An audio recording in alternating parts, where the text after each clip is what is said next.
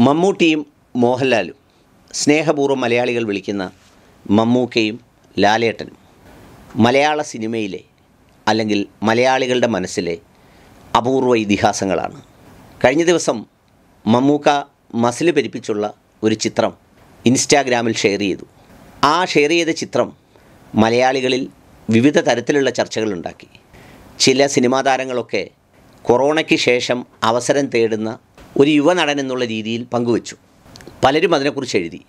സത്യം പറഞ്ഞാൽ പല കാര്യങ്ങളിലും വിയോജിപ്പുണ്ടെങ്കിലും അവരിൽ നിന്നും കേരള സമൂഹം ചിലതൊക്കെ പഠിക്കാനുണ്ട്. നിഷ്പക്ഷം നിലപാടിൽ അത് കാണാതെ പോകുന്നത് ശരിയല്ല.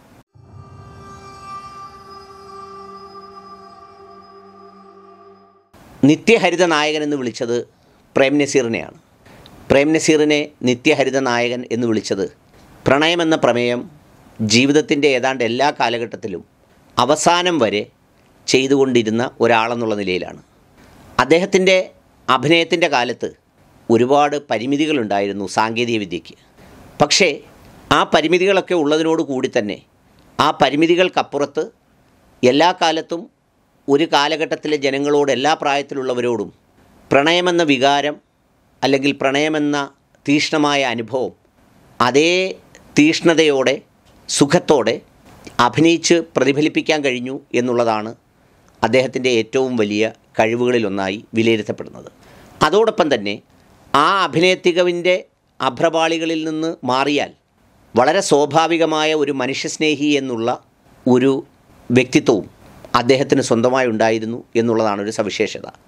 മമ്മൂട്ടിയും മോഹൻലാലും അറുപത്തിയെട്ട് വയസ്സുകാരും അറുപത് വയസ്സുകാരനുമാണ്. എട്ട് വർഷമാണ് അവർ തമ്മിലുള്ള പ്രായവ്യത്യാസം. പക്ഷേ ഏതാണ്ടൊരു മുപ്പത് വർഷക്കാലത്തെ മനുഷ്യന്റെ ഭാവനയുടെയും ചിന്തകളുടെയും അന്തരം അവർ ഇല്ലാതാക്കി അല്ലെങ്കിൽ അവർ പൂർണതയോടെ നിറഞ്ഞു നിന്നു എന്ന് പറയുന്നതാണ് ഏറ്റവും ഉചിതം.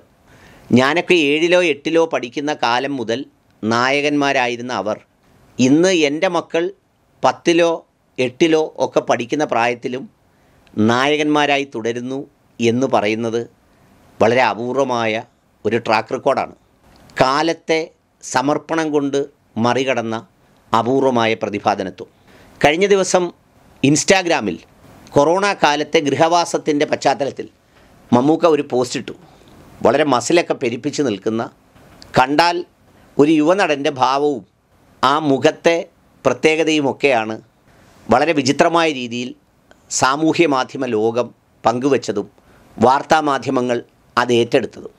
ഇവരിൽ നിന്ന് നമുക്ക് പഠിക്കാനുള്ള ചില പാഠങ്ങൾ എന്നത് ഞാൻ ഉദ്ദേശിച്ചത്. മലയാള സിനിമയിലെ ഒരുപാട് പ്രതിഭാധനന്മാരായ നടന്മാർ പാതി വഴിയിൽ നിശബ്ദരായി പോയത് അവരുടെ ജീവിതശൈലി കൊണ്ടാണ് എന്ന് പറയേണ്ടി വരും.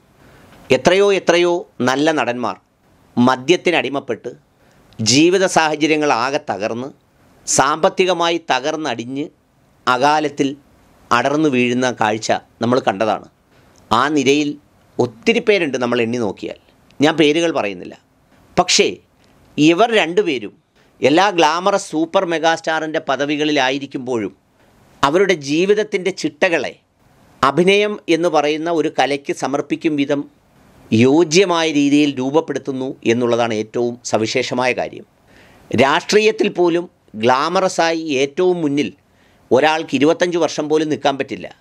ഓടി മുന്നിലെത്തിയാൽ വർഷങ്ങൾക്ക് ശേഷം അവർ രണ്ടാം നിരയിലേക്കോ മൂന്നാം നിരയിലേക്കോ ജോലിയൊന്നുമില്ലാത്ത ബഹുമാന്യ പദവികളിലേക്കോ മാറ്റപ്പെടുമ്പോൾ ഇവർ യഥാർത്ഥത്തിൽ ഇവരോടൊപ്പം ഒരു കാലത്ത് സിനിമയിൽ ബാലനടന്മാരായോ നടിമാരായോ അഭിനയിച്ച ആളുകളുടെ കാമുകന്മാരായും കൂട്ടുകാരായും ഇന്നും അഭിനയിക്കുകയാണ്.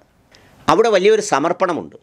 ഒന്ന് ഞാൻ നേരത്തെ പറഞ്ഞ ജീവിതത്തിന്റെ താരപരിവേഷം നൽകുന്ന വളയങ്ങളുടെ ആലസ്യത്തിൽ പെട്ടുപോകാതെ അവരുടെ വ്യക്തിത്വത്തെ പിടിച്ചു നിർത്തുക. അതൊരു പ്രധാനപ്പെട്ട കാര്യമാണ്. നമ്മൾ പലപ്പോഴും സ്വത്തിനെക്കുറിച്ചും സമ്പത്തിനെക്കുറിച്ചും പ്രശസ്തിയെക്കുറിച്ചും ആരോഗ്യത്തെക്കുറിച്ചും അതുണ്ടാക്കാവുന്ന പരീക്ഷണങ്ങളെക്കുറിച്ച് കാവലിനെ തേടണം എന്ന് മതങ്ങളിൽ വിശ്വാസങ്ങളിൽ പറയാറുണ്ട്. അതിന്റെ കാരണം എന്താണെന്ന് വെച്ചാൽ ദാരിദ്ര്യം അനാരോഗ്യം സൗന്ദര്യമില്ലായ്മ ഇതൊന്നും സത്യത്തിൽ പറഞ്ഞാൽ നമ്മളെ വഴിതെറ്റിക്കുന്ന സൗഭാഗ്യങ്ങളല്ല. മറിച്ച് പരിമിതപ്പെടുത്തുന്ന പരീക്ഷണങ്ങളാണ്.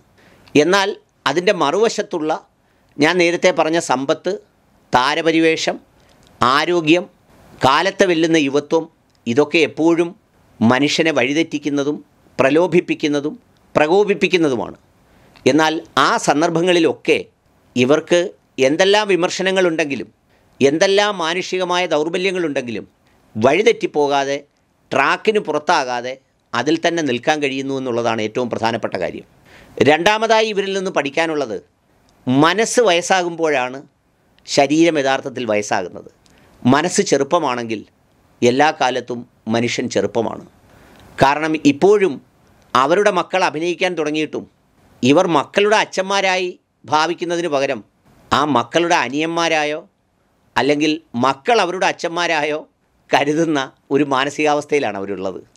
അതുകൊണ്ട് തന്നെയാണ് ഇതുപോലെ എല്ലാ കാലത്തും കാലത്തിന്റെ അടയാളങ്ങളെ അതിജീവിക്കാൻ അവർക്ക് കഴിയുന്നത് എന്നുള്ളതാണ് ഒരു വാസ്തവം. പിന്നെ വേറൊരു പ്രധാനപ്പെട്ട സവിശേഷത ചിട്ടയായ അധ്വാനം. ഏതൊരു കാര്യത്തിനു വേണ്ടി നമ്മൾ പുറപ്പെടുന്നു ഏതൊരു കാലഘട്ടത്തിൽ ഏതൊരു കാര്യങ്ങളെയാണോ നാം ലക്ഷ്യം വെക്കുന്നത് ആ ലക്ഷ്യത്തിൽ എത്തിച്ചേരാനുള്ള കഠിനമായ ജീവിതചര്യയും അതിന്റെ പരിശ്രമവും അവർക്കുണ്ട് എന്നുള്ളതാണ് ഒരു സത്യം. അതുകൊണ്ട് തന്നെ തളരാതെ തകരാതെ അവർ പിടിച്ചു നിൽക്കുന്നു. പിന്നെ വേറൊരു മലയാളി സങ്കല്പത്തിലുള്ള ഒരു പ്രശ്നമുണ്ട്. അത് സ്ത്രീകൾക്കും പുരുഷന്മാർക്കും ഉണ്ട്. അതായത് ഒരു നാൽപ്പത്തിയഞ്ചോ അല്ലെങ്കിൽ അൻപതോ അൻപത്തിയഞ്ചോ വയസ്സ് കഴിഞ്ഞാൽ പിന്നെ വൃദ്ധരായി എന്ന് പറയുന്നൊരു സംഗതിയുണ്ട്.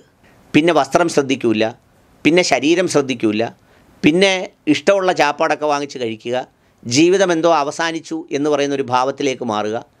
ഇത്തരം സംഗതികൾ ഉണ്ടായി കഴിയുമ്പോൾ സ്വാഭാവികമായി അമ്പത്തിയഞ്ചിൽ നിന്നും അറുപത്തി അഞ്ചിലേക്ക് എത്തുമ്പോൾ പത്ത് വയസ്സല്ല കൂടുന്നത് നാൽപ്പത് വയസ്സെങ്കിലും കൂടിയ ഒരു ഭാവം വരും എന്ന് പറഞ്ഞാൽ ഒരു തൊണ്ണൂറുകാരനെ പോലെ ആയിത്തീരും. ഇവർക്കത് സംഭവിക്കാതിരിക്കുന്നത് വാർദ്ധക്യമായി എന്ന് മനസ്സുകൊണ്ട് സമ്മതിക്കാത്തത് കൊണ്ട് കൂടിയാണ്. ഏതായാലും വിയോജിപ്പുകൾ അവരോട് പലർക്കും ഉണ്ടാകും പലതിലും ഉണ്ടാകും.